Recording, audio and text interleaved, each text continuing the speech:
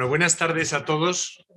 Como es ya habitual en este tipo de, en, esta época de pandemia y pospandemia, en el aula siempre hay muchos menos de los que están conectados eh, en streaming en, en, el resto del mundo, en este caso de varios países de Latinoamérica. Así que bienvenidos todos, bienvenidos todos a la Universidad Francisco Vitoria, bienvenidos a esta facultad en la que además estamos de, estreno. Este programa obviamente no es un programa que se estrene ahora, es un programa que tiene ya una historia y un prestigio extraordinarios. Empezamos la decimonovena edición. Así que este programa es verdaderamente una institución para la Universidad Francisco Vitoria y se incardina en una facultad que, por decirlo de alguna manera, acaba de nacer. O sea que el, contraste no podría ser más impresionante, pero a la vez más interesante. ¿no? Lo, antiguo, que no lo viejo, se une con lo nuevo eh, y con lo que viene cargado de ilusiones. Mi, papel en esta, en esta inauguración del máster es sobre todo institucional, toda la explicación sobre el programa, sobre su génesis, sobre su presente, sobre su futuro, sobre lo que se espera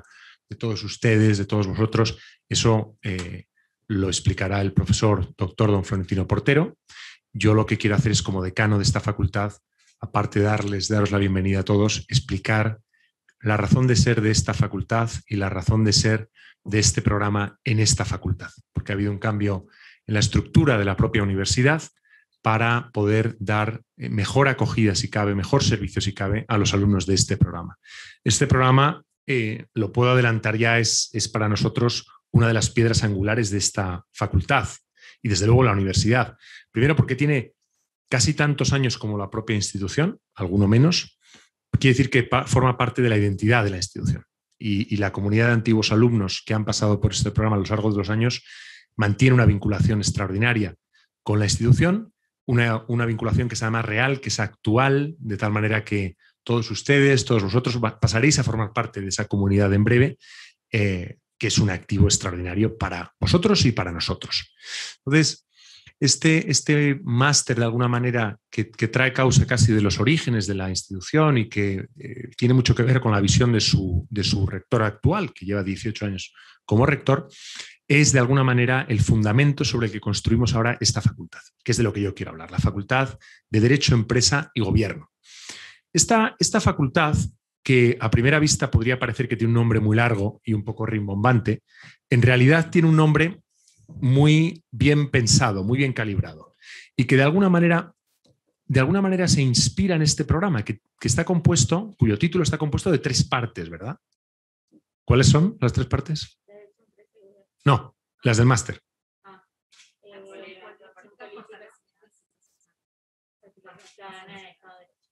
Eso es. Es decir, este máster, de alguna manera, está en los fundamentos de una facultad de Derecho, Empresa y Gobierno porque lo que busca es pensar y formar para la acción política, que a su vez necesita que las instituciones en las que opera esa acción política sean instituciones sólidas, sean instituciones que garanticen los derechos fundamentales y las libertades de las personas y que requiere que esos ciudadanos estén involucrados en la, construcción y el, y el mantenimiento y el sostenimiento de las instituciones y de la acción política. Esta facultad que se llama de Derecho, Empresa y Gobierno se construye sobre esas tres áreas que en el fondo son los tres pilares de la concepción del bien común desarrollado por la Escuela de Salamanca, sobre todo por su fundador, Francisco Vitoria, por Luis Suárez, por Tomás de Mercado y, en el fondo, por Santo Tomás de Aquino y por todos los pensadores de los que se nutre Santo Tomás de Aquino para desarrollar la definición de bien común. En esa definición de bien común están tres instituciones y no cuatro o cinco. El, derecho que construye precisamente relaciones basadas en la justicia que generan la paz, a eso está llamado el derecho, a construir relaciones basadas en la justicia entre los miembros de una comunidad para generar la paz sostenida y sostenible en el tiempo. La empresa que genera todas las, eh, si está bien concebida y si contribuye al bien común, genera riqueza que beneficia a todos de acuerdo con sus talentos, de acuerdo con sus méritos, pero sobre todo de acuerdo con la común dignidad de las personas. Y el gobierno que sobre todo depende de que haya personas bien formadas, personas virtuosas, que en el fragor de la batalla política sean capaces de tomar decisiones bien fundamentadas sobre una antropología correcta y sobre una concepción sólida del bien común. De tal manera que cuando nosotros montamos empezamos a construir o a perfilar esta facultad hacia alrededor de un año, un poco más de un año, empezamos a pensar que esta idea de bien común es la que nos debe inspirar eh, a la hora de desarrollar y de desplegar toda la facultad. Como toda facultad tradicional, se compone de tres elementos. La formación, a nivel de grado, a nivel de máster y a nivel de educación continua o educación ejecutiva, la investigación teórica y aplicada mediante programas de doctorado y centros de investigación y la, el compromiso con la vida social, la vida económica y la vida política en el día a día, tratando de generar eh, pensamiento riguroso que aporte luz a una sociedad eh, que muchas veces está sedienta de ese tipo de, pensamiento, de esa contribución que la universidad está llamada a hacer. Esta facultad se construye sobre, una, sobre la antigua Facultad de Ciencias Jurídicas y Empresariales, que abordaba dos de estas tres patas o dos pilares de esos tres que acabo de mencionar, pero solamente lo hacía en el ámbito de los grados. Y por tanto, un programa como este quedaba fuera, estrictamente hablando, del ámbito objetivo de la facultad. Se ofrecía desde otra unidad de la UFV, que es la Escuela de Posgrado. Lo que nos planteamos es que tenía lógica el crear un espacio integral, integrado, donde los alumnos de grado, de máster y de educación ejecutiva entrasen en contacto con profesores, con investigadores y, obviamente, con los operadores políticos, económicos, jurídicos. Esa era la razón de ser. Este programa lo hace y lo hace de una manera extraordinaria. Como, como vais a ver, como van a ver todos, durante estos meses, este programa integra muy bien la acción política con la reflexión sobre la política. Es, praxis, es poiesis, es tecné, es verdaderamente un ejemplo muy acabado de lo que es un buen programa universitario. La facultad intenta buscar inspiración y yo he hablado en muchas ocasiones con el doctor Florentino Portero y le he pedido ayuda, le he pedido eh, su, fin, su inteligencia, su sabiduría para tratar de acertar con este movimiento.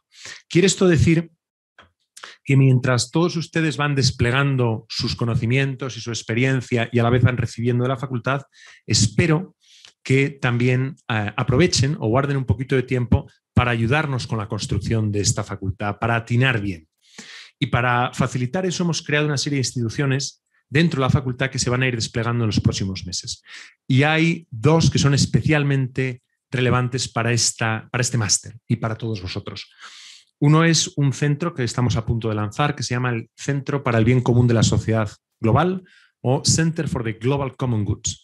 Y lo que queremos hacer es investigación aplicada precisamente sobre grandes retos de la sociedad global que se tienen que abordar al menos desde esas tres perspectivas, pero también desde la perspectiva de la filosofía y de la teología, puesto que esta es una universidad de inspiración cristiana. Bueno, pues ese centro, que es de investigación aplicada, que se va a centrar en analizar y dar respuestas a problemas concretos muy importantes hoy.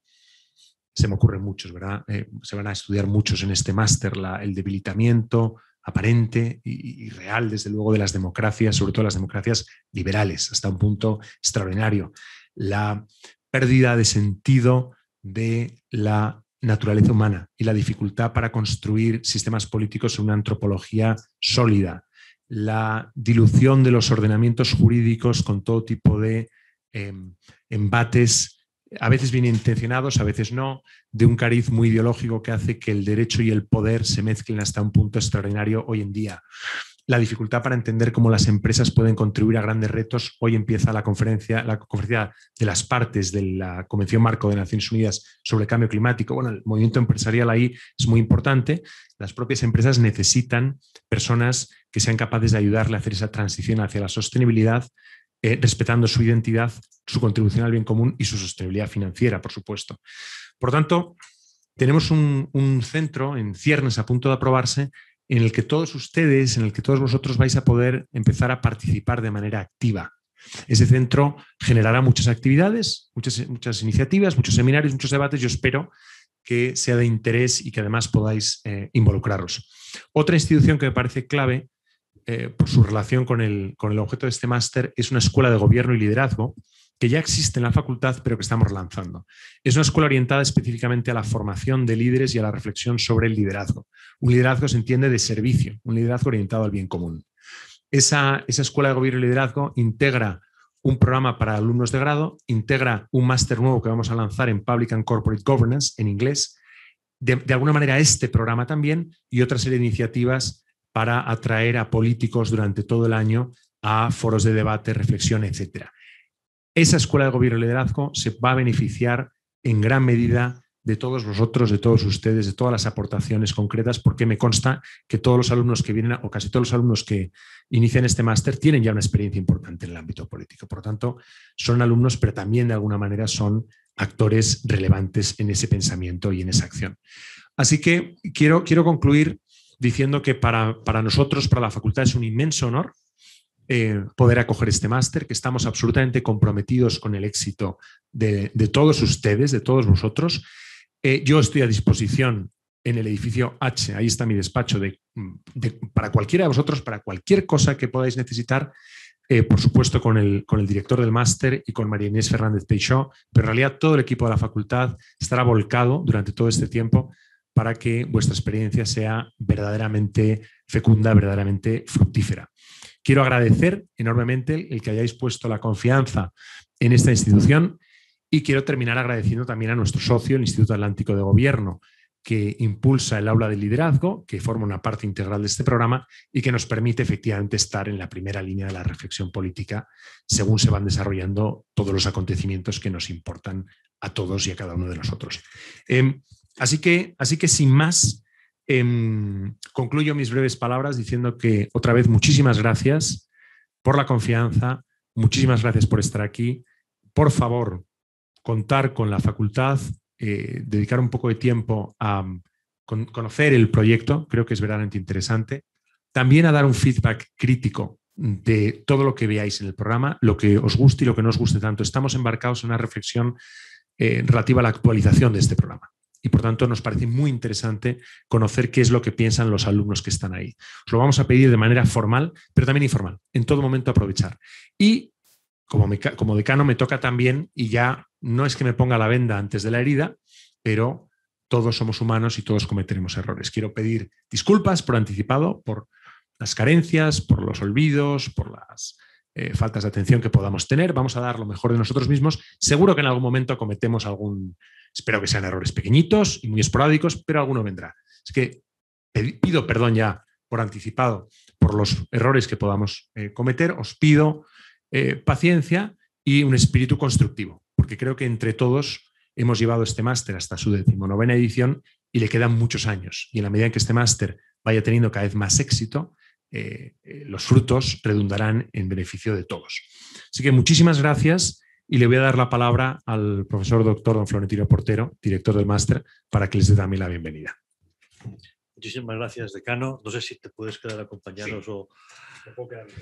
Perfecto.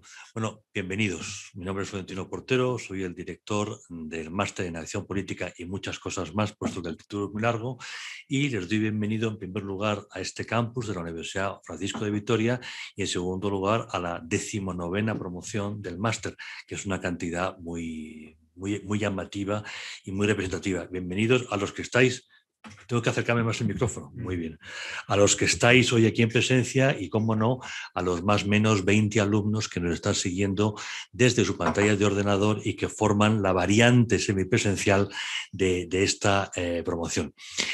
Habéis llegado, me permitís el tutearos, a la Universidad Francisco de Vitoria. Es una universidad muy joven, es una universidad muy dinámica, es una universidad católica y es una universidad que tiene un fortísimo sentido de misión. Eh, no se creó, como otras muchas, y es muy legítimo, como un negocio, Hace poco se han vendido dos universidades en Madrid. Hoy en la prensa económica se habla de que se ha intentado vender la tercera y no ha sido posible por la negativa del Banco Santander porque el precio no era adecuado. Una universidad es una institución es una sociedad, es una mercancía que se puede comprar y vender. Eh, esta universidad no se ha creado de esa mentalidad. Insisto, es una universidad que tiene una misión y esa misión tiene muchísimo que ver, cómo no, con el humanismo eh, cristiano. Nosotros formamos para transformar. Nosotros, si se quiere ver así, somos una universidad católica y revolucionaria al mismo tiempo porque no nos conformamos con el mundo que hay. Y cuando enseñamos a alguien lo que sea, el grado que sea, el posgrado que sea o la tesis doctoral que corresponda, lo estamos haciendo para que esa persona asuma un compromiso que inevitablemente irá dirigido a transformar su entorno porque por bueno que sea ese entorno, nunca es suficiente. Por justo que sea, siempre es injusto. Y eh, además el mundo es cambio, a veces el cambio coge una velocidad que da vértigo y por lo tanto tenemos que estar formados en el plano de las competencias y preparados en el ámbito psicológico para asumir liderazgo en tiempos de cambio profundo, en tiempos de transformación, en esos tiempos en que ya no vale hacer lo que funcionaba diez años antes. Eh, esas, esas terapias que han dado tanto éxito ya no están funcionando y por lo tanto formamos alumnos con la mentalidad de ser capaces de adaptarse a un entorno cambiante y a veces cambiante a una velocidad que da auténtico vértigo. La universidad, insisto, es muy joven, de hecho está literalmente levantándose. Eh, yo tengo la fortuna de tener un despacho estupendo sobre una de las obras, lo que me permite sentir momento a momento cómo la universidad eh, va, eh, va, cambiando y con la seguridad de cuando acabemos con esta obra empezará la siguiente y luego, y luego la siguiente. Durante unos años el campus continúa haciéndose. Tiene el vigor de la juventud, pero también tiene la serenidad, el saber hacer de la propia Iglesia Católica de la que forma parte vocacionalmente. Así que bienvenidos. El que la universidad eh, sea católica eh, y que claramente responda a, un concepto de misión propio de la Iglesia no quiere decir ni mucho menos que esté restringida a católicos ni que se pida a nadie ninguna declaración. Veréis eh, jóvenes con pañuelo, porque son musulmanas, vais a compartir, campus con alumnos judíos. hace nada estaba aquí uno de los rabinos más importantes del mundo pasando con nosotros unas horas absolutamente entrañables, volverá a ver rabinos, aparecerán imanes musulmanes, el diálogo interreligioso es capital y es propio, muy, muy característico de esta universidad. También hay alumnos y profesores que no tienen ninguna confesión religiosa. Lo fundamental para nosotros es que hay un punto de encuentro que es el humanismo que es la reflexión. Lo decía el decano, para nosotros la dignidad humana no es un tema negociable, aunque no seamos capaces de definirlo. La dignidad humana queda muy claro en el libro del Génesis, en dos momentos distintos, con Noé primero, perdón, segundo y antes eh, con Adán, hay unas palabras del Creador muy claras al, al, respecto. Para nosotros esos temas sencillamente no son negociables. Todo se construye desde una visión del ser humano caracterizada por su profunda dignidad. El ser humano nunca es una cosa, nunca es un número y por lo tanto cualquier acción política tiene que girar en torno a, a este hecho. A partir de aquí, eh, ¿qué es el máster en acción política? Y continuando con una de las ideas que ha presentado eh, nuestro decano. El máster se creó hace más o menos 23 años y lo creó un joven que hoy es el rector de esta universidad, pero entonces ni era rector ni estaba en la universidad. Eh, me refiero a, profesor Daniel Saga, hoy rector. Él estaba entonces entre el Ministerio de Asuntos Exteriores y eh, la presidencia del gobierno y tenía muy claro que faltaba eh, determinados programas de posgrado dirigidos claramente a formar políticos en nuestro ámbito, el ámbito eh, hispanoamericano o latinoamericano, como prefieran decirlo. Uno naturalmente puede irse, a Estados Unidos o a, o Sciences Po en París o a la Louise en Roma o a, otras universidades que son eh, famosas porque están acostumbradas a formar políticos, no a formar solo analistas, no a formar solo especialistas, sino a formar personas que toman decisiones y que están mentalmente preparadas para tomar decisiones. De ahí ese título tan raro, tan largo, que parece que nunca va a acabar y que a mí nunca me sale de un tirón. Por eso me quedo en acción política, que así que no, no, me equivoco. Eh, cuando a veces me dicen, bueno, vosotros en realidad, ¿con quién competís? Pues la respuesta es con nadie, porque en España hay másters muy buenos. En Madrid, por ejemplo, hay un máster excelente parecido en la Universidad Autónoma de Madrid, otro parecido en el Instituto Universitario José Ortega Gasset, que depende de la Universidad Complutense. Pero si os acercáis, veréis que son máster mucho más especializados, donde el objetivo es formar analistas, formar personas que entienden de acción política y o entienden de participación ciudadana y o entienden de administraciones públicas o del Estado. Pero ninguno de ellos busca una visión más comprensiva, más integrada del ámbito de la política y ninguno de ellos claramente tiene como objetivo formar políticos. Lo que nos caracteriza desde el día en que Daniel Sada decidió que había que sacar adelante este programa es que nosotros no tenemos por objetivo primero formar analistas en ninguno de estos temas. Nuestro objetivo primero es formar gente capaz de asumir responsabilidades, de tomar decisiones, de liderar equipos en tiempos más o menos fáciles, más o menos difíciles, pero dotados de una visión suficiente sobre todos los temas críticos que tienen que ver con el proceso de toma de decisión en política. Eso es realmente la primera característica del máster en acción política. La segunda deriva de la universidad en la que está, que es la Francisco de Vitoria, y por lo tanto nuestro claro compromiso a actuar desde el humanismo cristiano, desde una inequívoca visión de lo que es la dignidad humana, desde esta idea de que uno siempre tiene que estar preparado para transformar, porque nunca es suficiente. Soy una cosa creo que es una canción de una cantante mexicana, de Natalia, me parece. Pero bueno, ese es otro tema. Eh, he aceptado. de la Furcade, ¿verdad?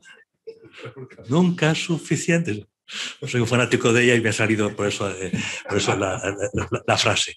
Este, este es un tema, eh, insisto, dejando a Natalia Furcade a un lado, absolutamente capital para nosotros. Una cosa es el signo, la característica del máster, otro es lo derivado de la propia eh, universidad. Bien, formáis parte de la decimonovena eh, promoción, que es una promoción como la anterior, la decimoctava, marcada por el COVID inevitablemente.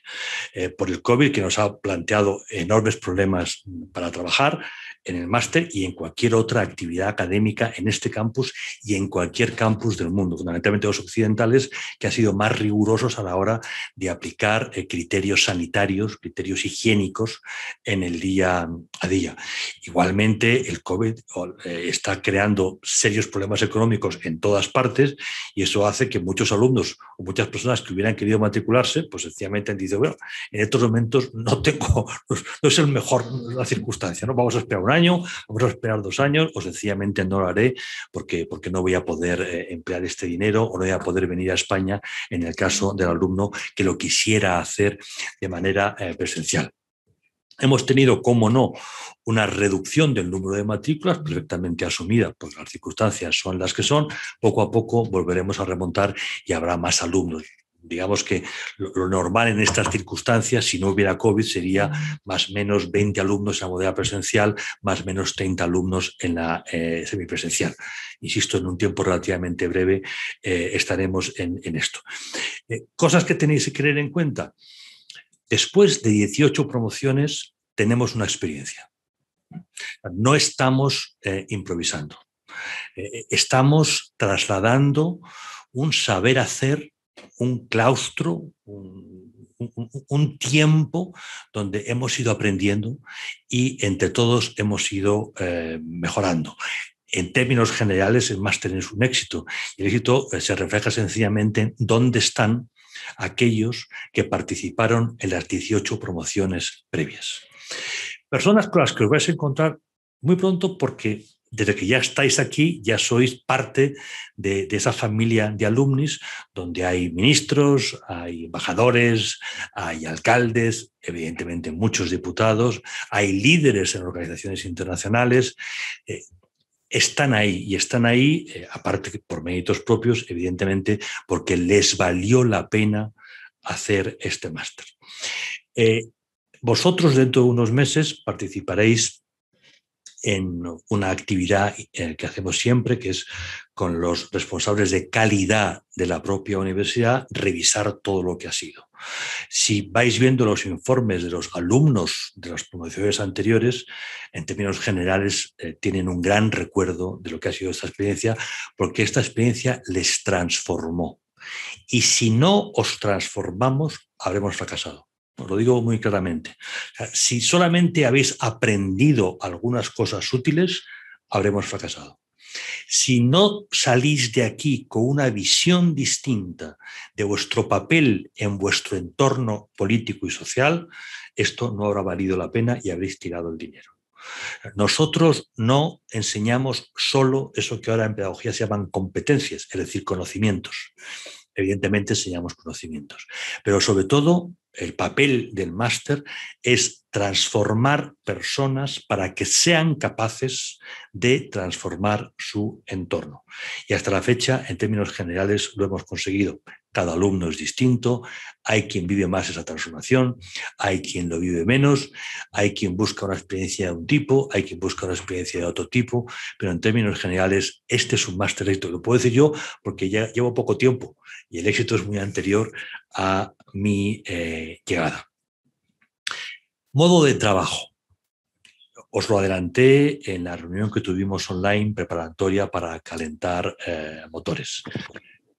Porque ya estáis en la vida real, el máster tiende a concentrarse en un poco, en poco tiempo.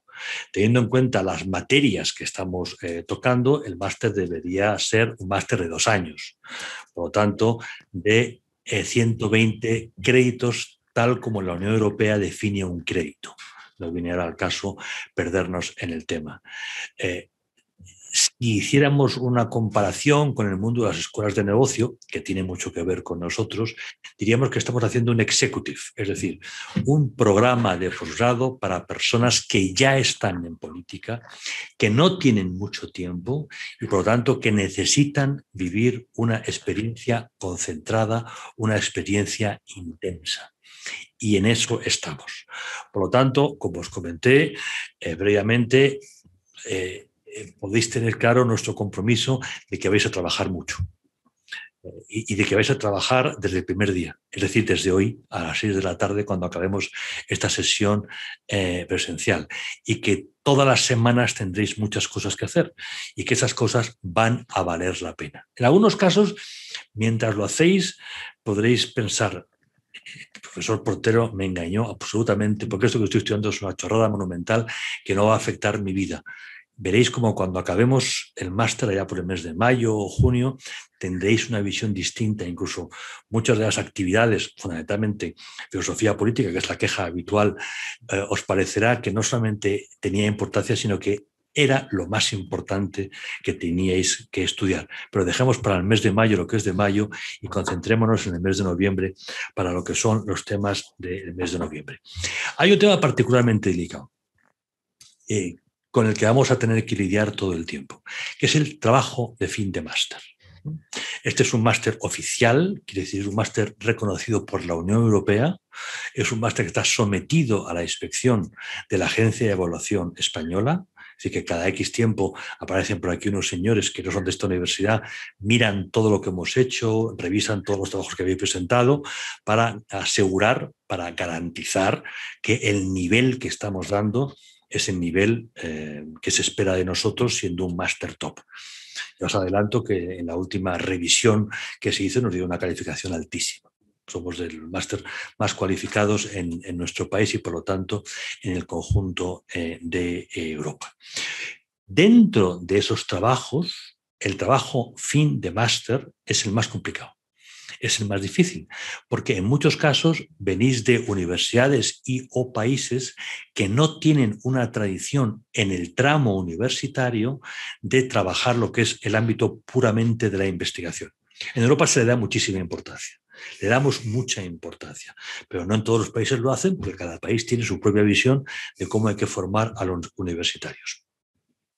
Un trabajo de fin de máster es un trabajo de en torno a 80 páginas de investigación pura y dura. Si os va a ayudar, si os va a acompañar, pero hay cosas que no se improvisan. Y aprender a investigar es una cosa que no se improvisa. Y va a ser eh, el dolor de cabeza durante todo el tiempo. En estos momentos tenemos alumnos de las últimas cuatro promociones a los que no se les ha entregado el diploma todavía porque no han aprobado el trabajo de. Y es así. Es decir, hay un nivel el nivel hay que pasarlo y si no se pasa, no hay diploma. Y, no nos vamos a engañar. cuando uno entra en un máster de muy alto nivel, se te va a exigir un muy alto nivel. Y, el compromiso nuestro es que os vamos a acompañar, pero eh, la pelota está en vuestro campo. Y eso, evidentemente, no es eh, precisamente fácil. Hay que trabajar, hay que estar desde el principio en el tema. Creo que la semana que viene ya tenemos una primera reunión, ¿verdad, María Inés? El día 10 eh, para eh, conmigo empezar a hablar de, cómo lo planteamos. Hay una asignatura casi totalmente dedicada a este tema, eh, que lo puede dar el profesor Serra, es verdad. profesor Serra, ¿tienes que irte? Sí. Perfecto. Gracias, gracias por acompañarnos. Y desde un primer momento hay que volcarse en ello porque si no, el tiempo se nos echa encima. Y se nos echa encima porque son pocos meses los que tenemos de máster y se nos echa encima porque durante cada semana vais a tener mucho trabajo por parte de las propias asignaturas. Y por lo tanto, no podemos dejar para más adelante, no podemos dejar para el segundo cuatrimestre precisamente el poder eh, volcarnos en este tema. Si el máster es intenso, nosotros como programa de cierto nivel, os ofrecemos además eh, actividades complementarias, actividades que no implican exámenes ni nada por el estilo, pero que implica tiempo. Y, es un tiempo enriquecedor, pero está ahí. De entre las actividades complementarias, como siempre me dejo alguno, María Inés me corregirá, porque ella sí tiene cabeza, yo estoy ya un poquito con Alzheimer, eh, tenemos en primer lugar un regalo que nos hace el Instituto Atlántico de Gobierno, que es nuestro socio a la hora de hacer este programa, que es el aula de liderazgo un aula que dirige muy personalmente el expresidente del gobierno español, don José María Aznar, y que lo fundamental es que invita a alguien y se produce un diálogo entre eh, los dos, del que luego eh, forman parte los propios alumnos. Esa posibilidad de estar pues, con jefes de Estado latinoamericanos o europeos, con gobernadores de bancos centrales, con empresarios que están al frente de multinacionales, y es la posibilidad de estar cerca de personas que tienen cotidianamente responsabilidades de muy alto nivel en un entorno profundamente globalizado.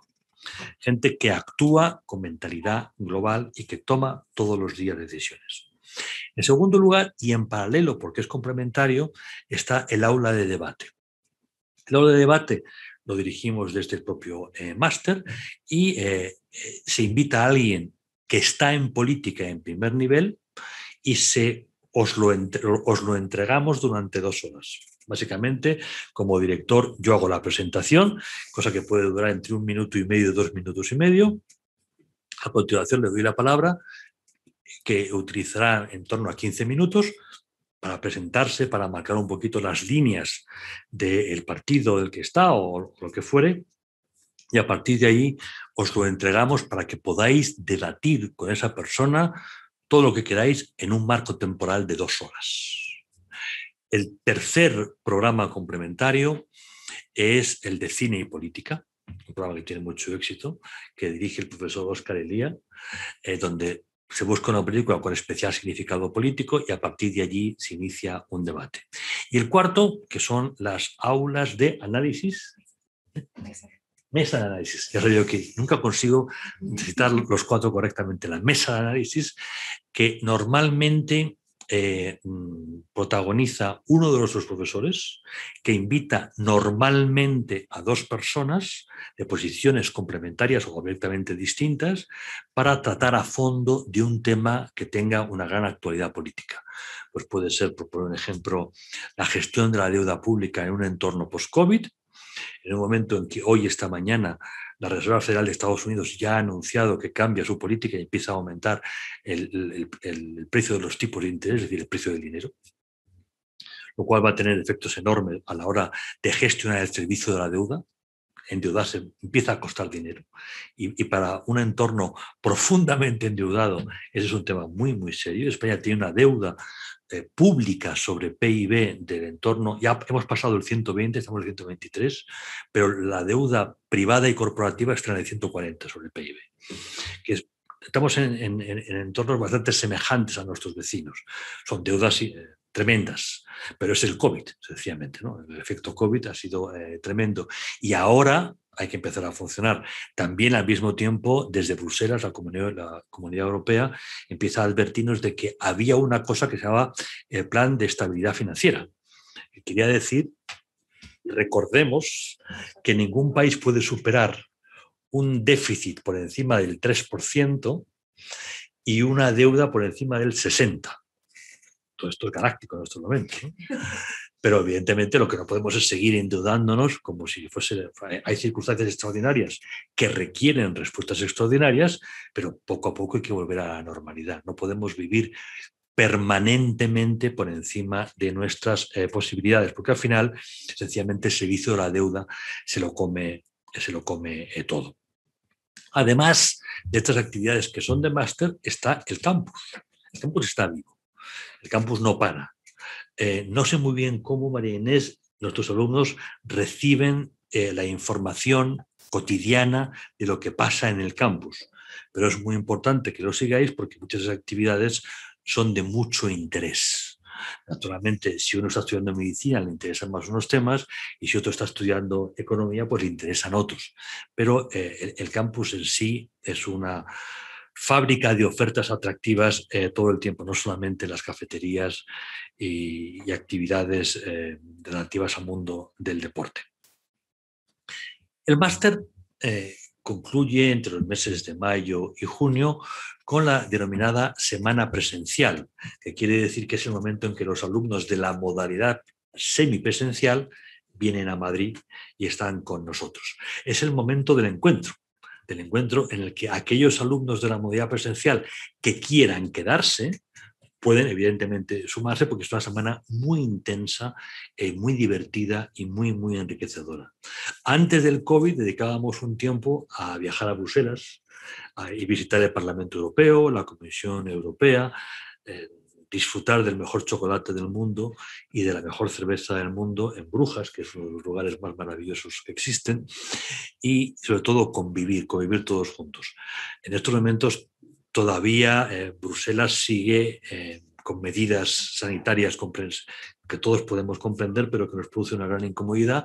No estoy en condiciones de decir si este año podremos viajar o no podremos viajar, porque no depende eh, de nosotros, pero evidentemente nuestra vocación siempre es pasar un tiempo en Madrid y pasar un tiempo en Bruselas eh, para que todos nuestros alumnos, sean españoles o procedan de América Latina o de Guinea Ecuatorial o de algún otro país, que hemos tenido alumnos que vienen de sitios muy distintos, pues puedan conocer lo que es la experiencia eh, realmente única del proceso de integración europeo, que es un proceso complicado, tenso, intenso eh, y que ha supuesto que hayamos avanzado enormemente en algunos temas y no tanto en otros temas.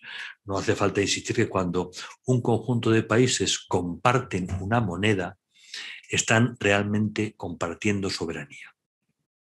Las carreteras no son soberanía, los sistemas de salud no son soberanía, eh, los hospitales no son soberanía, pero la moneda es soberanía. Y cuando se comparte una gobernadora del Banco Central Europeo con sede en Frankfurt, que toma decisiones que son críticas para el conjunto de los países, sea cual sea el momento económico en que cada país se encuentra, eso son palabras mayores. la política económica y monetaria de la Unión Europea, por una parte, es un éxito, pero por otro lado, implica un grado de integración que no se puede ni mucho menos eh, minus eh, valorar. Más adelante os iremos eh, comunicando cómo se va diseñando la semana presencial y también las fechas para todos aquellos que de la modalidad presencial quieran quedarse un tiempo más y compartir eh, esta experiencia. Una de las claves de esta universidad, de este campus, y da igual que estemos hablando de grados que de posgrados, es el concepto de acompañamiento. No sé si lo hemos tomado de los marines norteamericanos o lo hemos tomado de la tradición eclesiástica universitaria, pero nunca dejamos a nadie atrás. Por lo tanto, todo alumno eh, va a sentir que no está solo. Evidentemente tiene compañeros, pero la propia universidad está detrás de cada alumno. Siempre que alguien tenga una necesidad, lo tiene que decir. Eh, siempre que quiera más apoyo, lo tiene que pedir. Pero nadie está solo y nunca dejamos a nadie atrás, salvo que alguien se empeñe en quedarse atrás y evidentemente todos somos muy libres para tomar nuestras decisiones. Pero, mm, insisto, para nosotros el acompañar a los alumnos en este recorrido, en esta experiencia, es un tema absolutamente fundamental. Y es fundamental, entre otras cosas, porque damos por sentado que el alumno es un ser activo. No tenemos ningún interés en tener alumnos pasivos que vienen, toman nota, estudian, hacen buenos exámenes y se van. Ese no es el tipo de alumno que este campus busca. Igual que buscamos alumnos dispuestos a asumir liderazgo, alumnos dispuestos a cambiar su entorno, buscamos alumnos que participen mucho en el día a día y que también participen en el propio diseño del programa.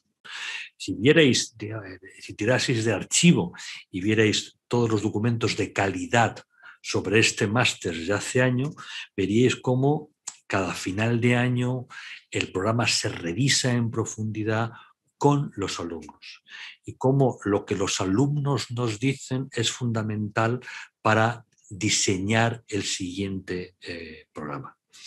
En este caso, eh, eso tiene una importancia añadida y es que si es verdad que todos los años retocamos el programa, eh, en este momento estamos haciendo una revisión tan en profundidad que puede llevar a un cambio mayor en el programa, incluso de, determinados cambios en la denominación, en el enfoque, etcétera, etcétera. Dentro de ese cambio que el decano os ha explicado sobre cómo queremos enfocar los estudios sociales, una visión mucho más interdisciplinar, mucho más transversal. Eh, digamos, no, nos interesa tanto la ultra especialidad como formar personas que sean capaces de entender su entorno para poder actuar sobre él. Siempre tiene que haber especialistas, como no, nosotros somos especialistas, pero nos interesa mucho, insisto, mucho el alumno que es capaz de, de entender un espectro amplio de la realidad. Eh, insisto, estamos en estos momentos pensando en un cambio en profundidad, por lo tanto nos interesa mucho lo que nos vayáis diciendo durante el curso y las conclusiones que extraigáis al final del curso sobre en qué medida os hemos aportado, pero qué cosas habéis echado en falta. ¿Qué cosas os parecen redundantes y en qué otros temas que han estado bien quizá hubiera que haber profundizado más? Todos lo sabemos, estamos viviendo un cambio de época, eh, lo que funcionaba hace un tiempo está dejando de funcionar, lo tenemos perfectamente asumido, eh, nuestro rector es medio trusquista y por lo tanto para él el cambio es una cosa bastante eh, natural y todo lo que es el aparato de ciencias sociales, toda ese área está en estos momentos en profunda discusión dentro de la universidad para adaptarnos de la manera más sensata, más inteligente a lo que se nos viene encima. Por último, recordaros algo que es de sentido común. Las cosas de sentido común también hay que repetirlas de vez en cuando. Eh, eh, desde el momento en que os habéis matriculado, desde el momento en que confiáis en aprobar este máster, cosa que no dudo o que no quiero dudar, este máster eh, formará parte de vuestro currículum vitae. Si el máster es bien valorado por el entorno, eso es un activo para vosotros. No es lo mismo hacer un máster que otro, no es lo mismo estudiar en una universidad que en otra. Los, directores de recursos humanos lo saben muy bien. Eh, es muy importante que luchéis para que este máster eh, tenga la mejor consideración posible por puro egoísmo, porque os interesa para vuestro currículum vitae. Así que confiamos en que tanto por egoísmo como por generosidad eh, nos ayudéis a que el máster continúe mejorando y a que el máster realmente eh, continúe siendo una referencia en nuestro entorno. Y esto es, en líneas generales, lo que os quería comentar en este primer día en campus. Vamos a estar eh, muy cerca durante todo este tiempo. Eh, a mí como director me toca más estar, lo digo siempre, en la promoción siguiente que en la presente. Y es María Inés la que está más presente en esta promoción. Yo estoy con el decano trabajando en estos momentos en, en la siguiente, pero estoy aquí. Nos vamos a ver muchas veces, nos vamos a encontrar muchas veces en el campus, en las cafeterías, en la biblioteca, y estoy a vuestra entera disposición. Como está María Inés, sencillamente es cuestión de llamar a la puerta o enviar un correo y decir, necesito hablar. Tal hora, en tal momento, en una cafetería o en mi despacho, nos podemos reunir y, tratar el tema que sea, que sea pertinente. De nuevo, bienvenidos. Eh, confío en que la experiencia va a ser provechosa, va a tener un cierto componente radical y os garantizo que va a ser muy intensa. Bienvenidos. Ahora, si queréis eh, tocar temas concretos, o yo cedo la palabra a Marinés, que es la jefa de verdad del máster, la que lleva el día a día, Hola a todos. Bueno, me sumo a las palabras de bienvenida tanto del decano como, como de Florentino, a todos los que están conectados en la modalidad semipresencial. Y bueno, hicimos las presentaciones y ahora ya hay que entrar y zambullirse. Vamos a empezar ahora mismo. Así que recordamos algunos aspectos técnicos que para todos son importantes y a partir de ahora comenzamos a trabajar. Hoy si ingresan en el aula virtual, todos tienen que tener acceso a seis cajitas. Lo hemos dicho por activa y por pasiva, pero estas cosas son las de sentido común que dice Florentino, que de vez en cuando hay que reforzarlas. Información general y las asignaturas que tenemos en el primer semestre. La acción política y sus instituciones, la política y lo político, investigación política, política internacional y, y trabajo de fin de máster, que es una asignatura que se desarrolla a lo largo de todo el cuatrimestre, pero que vamos a trabajar desde el minuto cero. De hecho, la primera sesión de trabajo de fin de máster, porque veo que en la modalidad semipresencial hay alumnos de segunda convocatoria conectados. Hola Jorge, por ejemplo, Jorge Holguín, ¿qué tal? Em, la primera sesión la vamos a tener conjunta. Hay varias actividades que vamos a desarrollar las dos modalidades al mismo tiempo.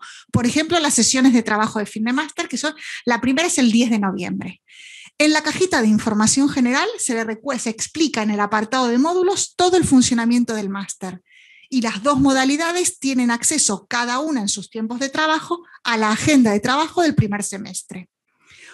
Una cosa muy importante es a lo largo de los, y muy especialmente durante el mes de noviembre, que nos estamos haciendo la metodología de trabajo de este máster, que tal como señalaba Florentino, es muy intenso, es que vamos a hacer un máster en siete meses, un máster oficial europeo, entonces vamos a trabajar mucho en muy poco tiempo, es que tengan orden, constancia, esfuerzo y regularidad. Y esto depende fundamentalmente de vosotros. Nosotros ponemos toda la información a vuestra disposición e incluso algunos consejos, pero les toca a ustedes gestionar vuestra agenda. Entonces, a partir de hoy, algo que tenemos que hacer todos los días cuando me siento a trabajar en el máster, porque tanto en la modalidad presencial que venimos a clase como en la modalidad semipresencial que nos tenemos que organizar y trabajar de forma más autónoma, todos los días hay que trabajar en el máster. Hay que estar enganchados a todo este proceso de aprender para transformar permanentemente. No hay que desconectar porque si no la curva para volver a comprender y meterme en las metodologías de trabajo siempre es más, es más ardua. Todos los días tenemos que revisar los anuncios muy especialmente los anuncios de la cajita de información general de coordinación, pero también los anuncios que cada uno de los profesores en sus respectivas asignaturas vuelquen a través del aula virtual.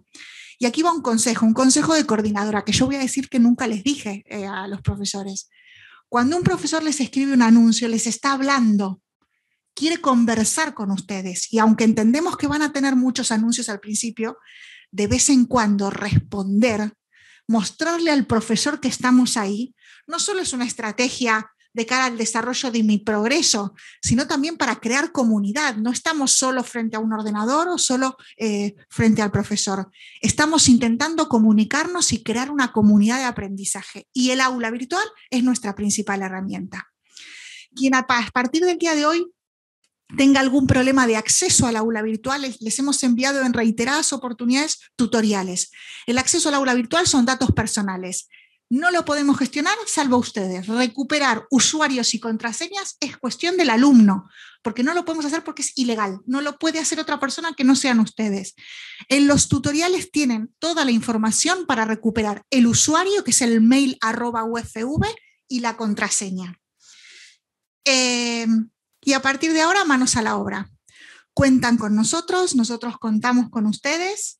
Eh, hoy poco a poco, sobre todo a ustedes ahora los vamos a acompañar a los alumnos de la modalidad presencial a su aula, que anoten aula 1.4 del edificio E, que es el primer edificio del campus.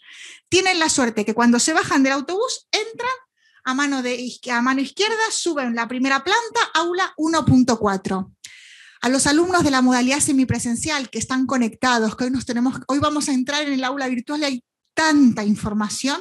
Bueno, poco a poco, hoy, mañana, esta semana es para organizarnos. Todas las asignaturas se organizan de la misma forma, todas las actividades son, no son iguales, pero tienen la misma estructura de trabajo, así que poco a poco. Y lo más importante, que lo decía recién Florentino, quien necesite apoyo, eh, más información o lo que sea, tiene que hablar con nosotros, tiene que pedirlo. Sobre todo, a ustedes los vemos todos los días, pero a ustedes que por ahí no los vemos, aunque sí estamos detrás del ordenador, si necesitan algo, tienen que pedirlo. Vale, sin más, eh, bienvenidos a la universidad y a los de la modalidad semipresencial, al aula virtual y a ustedes al aula 1.4 del edificio E.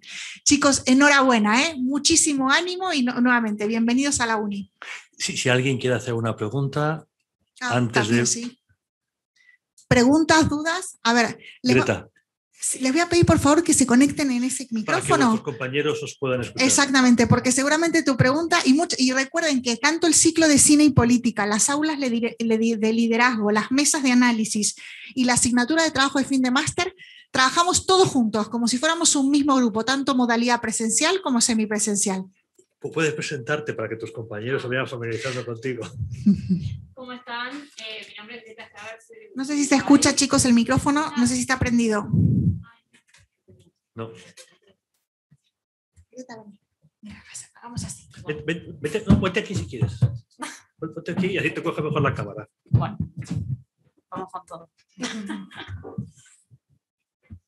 Hola, ¿cómo están? Ay, qué fuerte.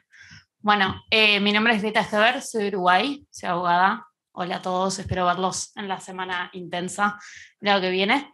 Eh, no, mi pregunta en realidad era respecto a eh, voluntariado en cuanto a las actividades complementarias al máster, si habían algunos voluntariados abiertos que nos podamos sumar o algo. eso me, interesaba, siempre estoy afín a hacerlo y quería saberlo ya desde un principio para empezar a organizarme.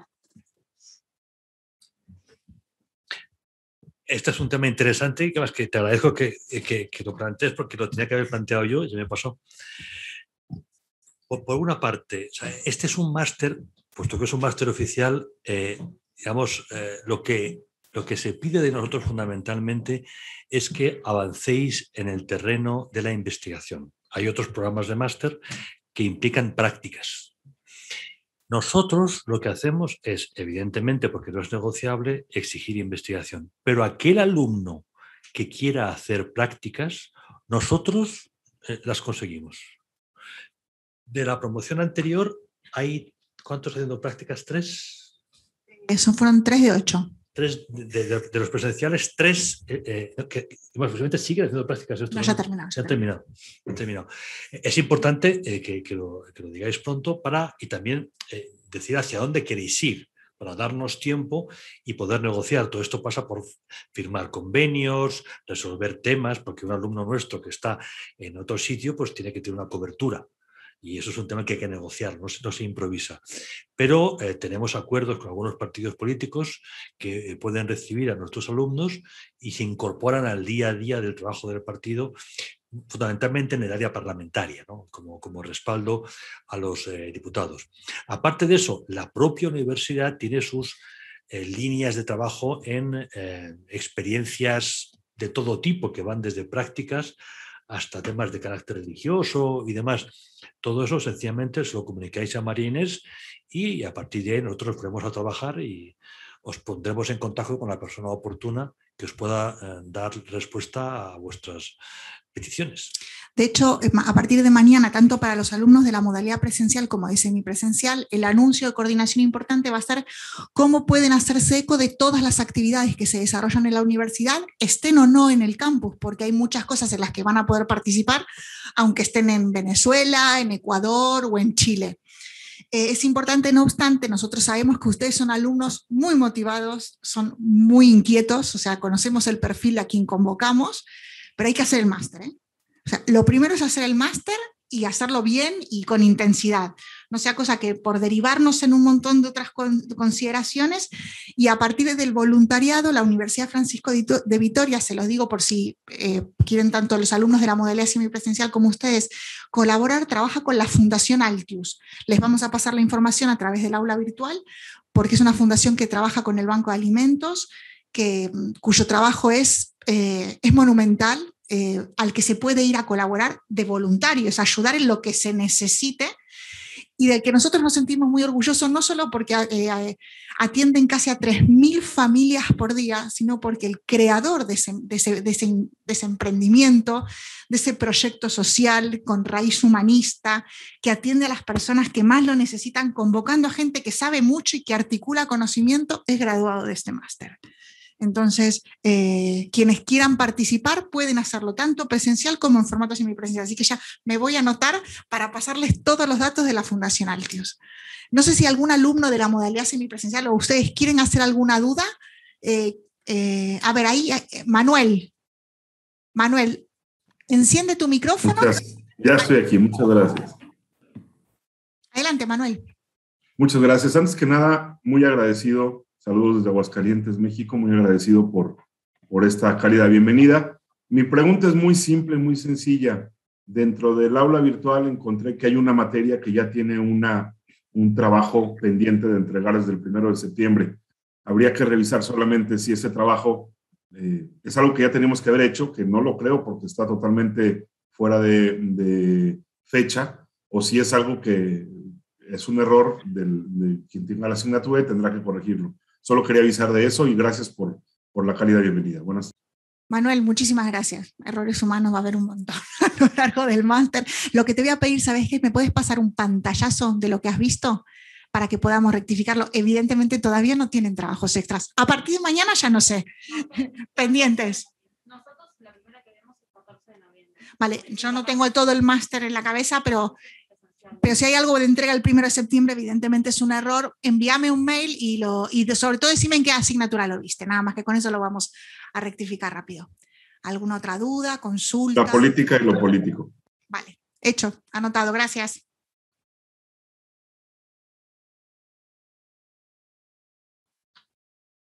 ¿Más dudas? ¿Más preguntas?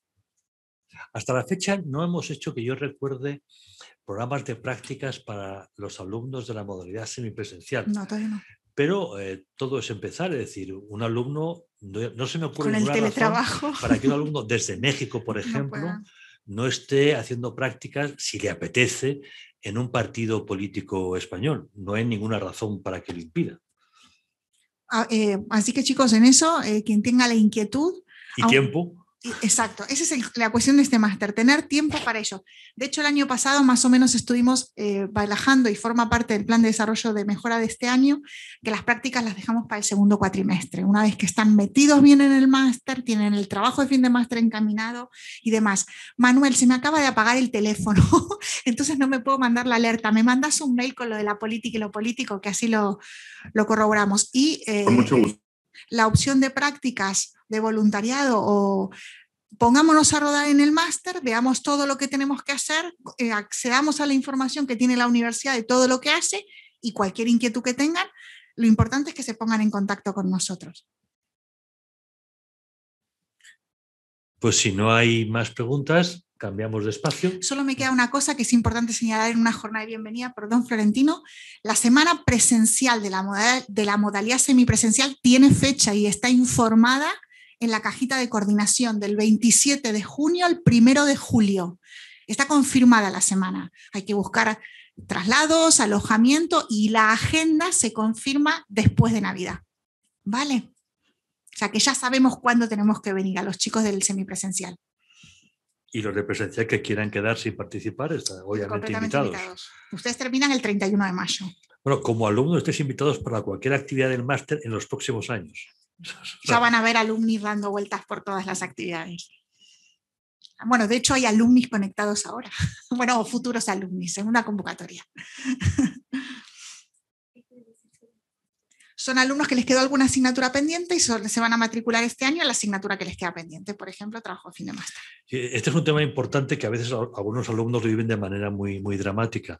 Eh, nosotros entendemos que cada alumno tiene una vida, tiene unas obligaciones, algunos están casados, incluso tienen hijos y tienen que ir a trabajar. Eso quiere decir que les queda para hacer el máster un número de horas limitadas para nosotros no es ningún problema que un alumno se quede dos, mm, dos, años con nosotros. Sencillamente lo fundamental es que distribuya bien el tiempo y no se ahogue tratando de abarcar todo un año si no tiene tiempo suficiente. Nosotros acompañamos al alumno en cómo medir las energías, cómo medir los tiempos y hacer el máster bien. El, hacerlo en dos años no es ni mejor ni peor que hacerlo en uno, sino que cada alumno tiene unas circunstancias y tenemos todos que adaptarnos a, estas circunstancias. esto es típico de los máster executive. Estamos trabajando con personas que tienen una vida propia e intensa. No hace mucho tuvimos como alumna a una ministra, mm. ministra en ejercicio os podéis imaginar que esa ministra mucho tiempo libre no tenía. Dice que redactó tres veces la carta de renuncia al máster. Sí. Periódicamente estuvo todo el máster diciendo la semana que viene me voy. en tres ocasiones firmó la carta de, pero aguantó, aguantó y fue una alumna brillante por otro lado porque es una mujer de primera. Era una mujer muy, interesante por muchas razones, eh, pero eh, eh, era evidente que iba muy, muy, muy, muy forzada. ¿no? En otros casos, sencillamente, en el diálogo normal concluimos con el alumno de, oye, déjate estas dos asignaturas o déjate el, TFM, el trabajo de fin de máster para el año que viene, porque no tiene sentido que no disfrutes del máster. Este es un máster hay que trabajar mucho, pero hay que disfrutarlo más. Si no, no tiene ningún sentido aunque valga la pena el consejo también florentino, para los alumnos de la modalidad presencial, la vida universitaria que vamos a proponer en el máster es conocida porque todos hemos ido a la universidad, venís a clase, vas a la biblioteca, preparas tu tiempo de trabajo. Para los alumnos de la modalidad semipresencial, esto es un consejo, no es lo que cada uno después lo adapta a su agenda, a su propia realidad, pero sobre todo entre noviembre y diciembre, de dedicar, intentar cerrar mi agenda entre dos o tres horas diarias para trabajar el máster. Una vez que estoy metido en el ciclo y que comprendo perfectamente cómo organizarme, ya el trabajo me sale solo y es posible que no necesite tener todos los días un momento de conexión. Pero en una modalidad semipresencial donde hay muchísimo trabajo autónomo por vuestra parte, eso significa que la información está en el aula. Entonces tienen que buscarla, procesarla, leerla, analizarla para después tener los momentos de encuentro con el profesor al principio un sobreesfuerzo en la conexión y en la regularidad de la conexión con cada una de vuestras actividades les va a ser muy útil hasta que enganchen el ritmo de trabajo. Es un consejo. Cada uno después lo adapta a, eh, sus propias circunstancias. ¿Vale? Es un consejo que los asustó, ya se están desconectando. Más dudas, más preguntas. Los alumnos de la SEMI, los alumnos de presencial. ¿Alguien quiere Veo por ahí alguien, una sí, creo que es Diego, ¿verdad? Eh, ¿Enciendes tu micrófono, Diego? Hola. ¿Qué tal? Ahí te escuchamos. ¿Me escucha bien? Sí, perfecto. ¿Qué tal? Buenas. Nada, solamente para, para preguntar, eh, no sé, una duda que tengo. Eh, para organizar el trabajo en la modalidad semipresencial, he visto que hay un calendario en el aula virtual. Entonces, ¿cómo, puedo, cómo se puede traspasar eh, lo que tenemos de cada asignatura para volcarlo directamente en, el calendario y que pueda haber algún tipo de alerta o algo similar que nos ayude con los trabajos, etcétera. Muy buena pregunta, eh, Diego. A partir de hoy, y además es una pregunta que algún otro compañero tuyo me hizo en los días previos al inicio, ustedes tienen actividades, activadas perdón, todas las cajitas de las diferentes asignaturas. En teoría, si eh, que creo que es así, a partir de hoy, eh, si, acceden al calendario, se ven todas las actividades volcadas por colorcito por cada una de las asignaturas. Y además tienen en el apartado de información general la agenda de trabajo del primer semestre. Esa agenda de trabajo que está en PDF y lo que está en el calendario de Canvas coincide. y además, el calendario de Canvas se puede exportar a tu calendario en Google o en Outlook. Mañana les pongo el tutorial para que les salten alertas por todos lados, por el aula virtual, por el PDF que se tienen que imprimir y tienen que ir a, todos lados con el PDF a la cocina, a comer, todo eso no se lo pueden sacar de encima y además que te salten alertas en tu Outlook, ¿vale? Gracias. Pues editamos notificaciones, ¿no? Así que Exacto, y una muy bien, Greta, lo que nos está comentando aquí una compañera, es que una cosa importantísima, y te juro, Tino, que ya los largamos, que no les paramos de decir cosas, pero que les pueden servir. Actualicen su perfil, pongan una foto. ustedes los vamos a ver todos los días, pero a ustedes que los vemos de vez en cuando, para conectar alumnos con ideas, sobre todo los mecanismos de evaluación, o sea que esto les va a ser útil a ustedes, identifíquense frente a los profesores. Y actualizar la foto es fundamental. A partir de ahí, una de las cosas que tienen que hacer es activar sus notificaciones. En este máster hay muchas notificaciones, porque todos los profesores colgan anuncios, porque en coordinación colgamos anuncios, porque hay muchas tareas. Entonces, es posible que las notificaciones en, el, en, vuestro mail se saturen. O sea, que les estoy diciendo que van a recibir muchos mails con notificaciones. Entonces, configúrenlas otra forma es desconfigurar las notificaciones al mail. Es otra estructura de trabajo, ¿vale? Vos o ves que todo te llega al mail y después ves si te metes y lo vas organizando, o vos sabés que cuando te conectas al aula virtual hay un camino que hacer. El primero, revisar los anuncios de coordinación. El segundo, revisar los anuncios de todas las asignaturas para ver si se me está pasando algo inmediato. Y el tercero, retomar el trabajo donde lo había dejado. Los anuncios, cuando ustedes entran en la asignatura, si hay anuncios sin leer, les va a aparecer el numerito, 1, 2, 3 y unos puntos, eh, unos puntos azules alrededor del anuncio que tienen sin leer. Tranquilos, que es una, si podemos utilizar Twitter, Facebook, Instagram, esto lo vamos a aprender a utilizar mañana, ¿no? Pero bueno, hay que meterse en la rueda. Ajustar las notificaciones si quiero que me lleguen al mail o las, las desactivo todas pero siempre y cuando tenga la regularidad de conectarme todos los días al máster, sobre todo a los alumnos del semipresencial, revisar anuncios de coordinación, revisar anuncios de todas las asignaturas y ponerme a trabajar. Esto requiere que en mi agenda diaria de trabajo yo disponga de tiempo libre, es decir, tiempo para hacer solo esto, sin el móvil, sin la tele, no sé si alguno tiene hijos, habrá que encerrarlos, yo lo digo por experiencia. no, no, o sea, tendremos que disponer de tiempo para dedicar de calidad al máster. ¿Vale? ¿Más dudas, consultas? No obstante, sí, a ver, aquí, aquí. Te, te quieres animar aquí porque seguro que tus... Melisa, ¿verdad? Sí.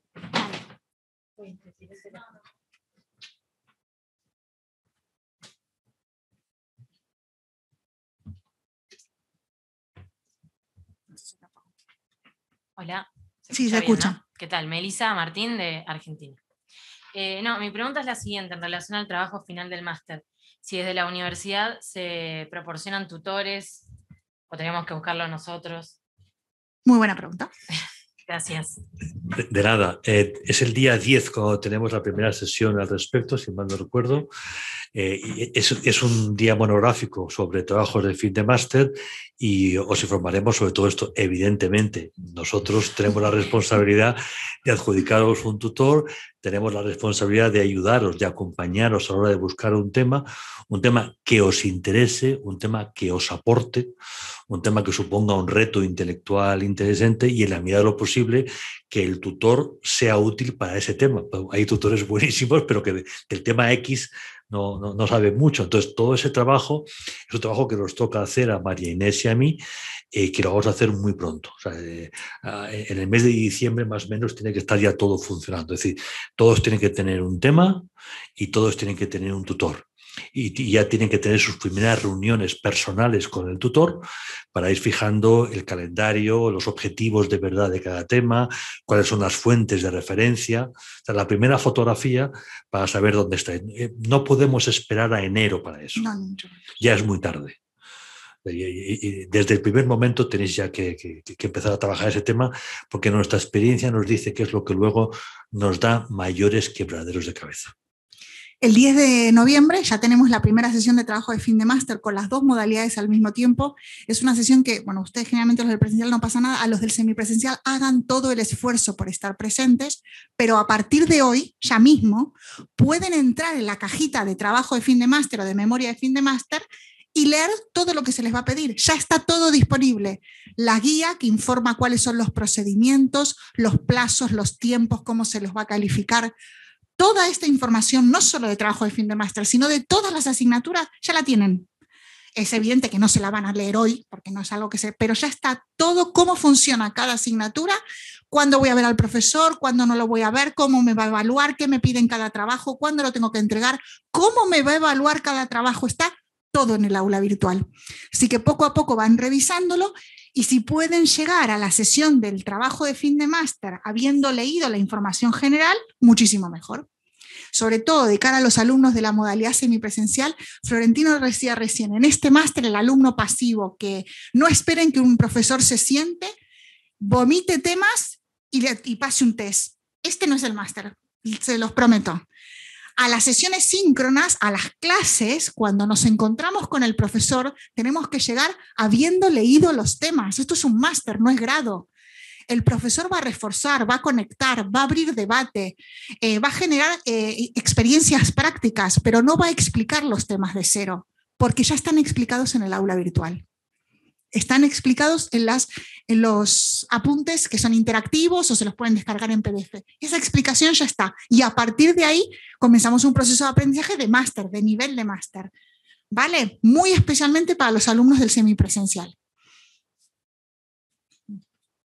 más dudas, consultas, chicos. No obstante, bueno, de hecho los anuncios, tanto de los profesores como de coordinación, se pueden responder. Entonces también pueden ir planteando dudas ahí mismo. Vale.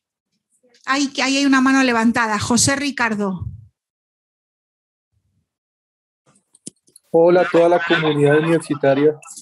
Eh, mi duda va respecto a, eh, yo soy de Colombia, eh, mi duda va respecto a los cambios de horario quería saber, no me queda claro el tema de la obligatoriedad, de, teniendo en cuenta el calendario de, de asistencia a las, a las sesiones que están ya definidas. Y si es el caso, como lo dice el mismo, eh, eh, la misma asignación, eh, que es obligatorio el tema de ausencias y demás, cómo se maneja. Gracias. Mira, justo hoy en los anuncios de coordinación de, las, de la modalidad semipresencial tienen un vídeo que da respuesta a eso.